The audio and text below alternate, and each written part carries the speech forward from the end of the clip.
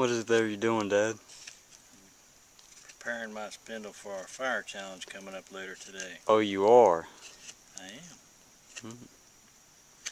It may be a bit punky, but I think the center of it's hard enough to get the job done.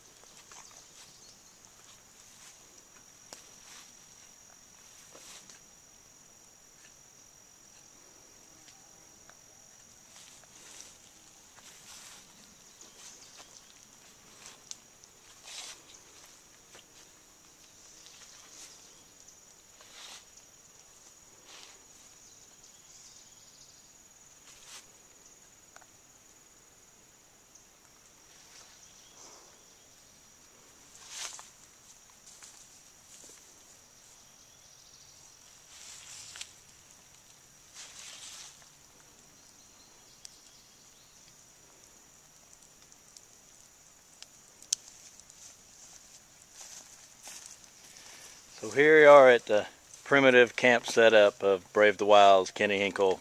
How you doing, Kenny? Pretty good. Yeah? Yeah.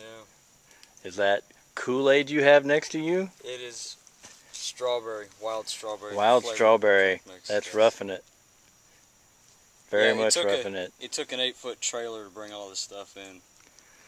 Hammock spread out. Tarp over our head. Picnic table with three days worth of food. Tent down here. Clean water. Big fire. Life is rough. Very. We actually have about three weeks worth of food, but we're eating it all in three days. What do we have for breakfast? We had sausage, eggs, and bacon and toast. And then we're going to have some white hot hot dogs for lunch.